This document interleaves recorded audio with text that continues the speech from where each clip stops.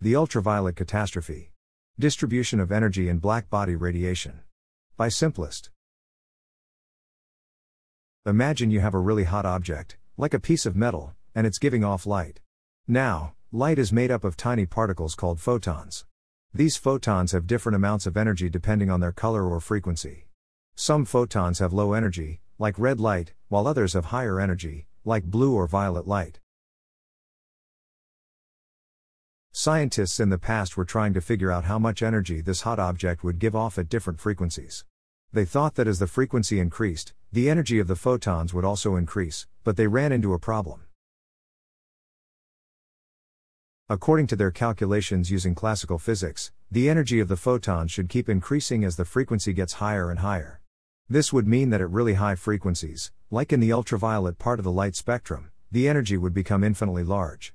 That doesn't make sense because we can't have something with an infinite amount of energy. Therefore, this problem where the energy kept getting bigger and bigger as the frequency increased was called the ultraviolet catastrophe.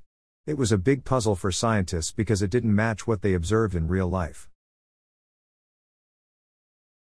To solve this puzzle, a scientist named Max Planck came up with a new idea.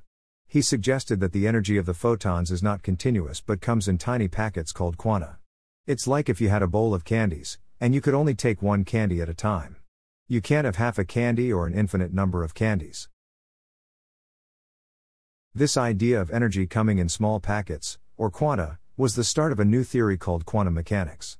It helped explain why the energy of the photons didn't keep increasing without limit. It also laid the foundation for the discoveries of other scientists, like Albert Einstein, who explained the behavior of light using the idea of photons.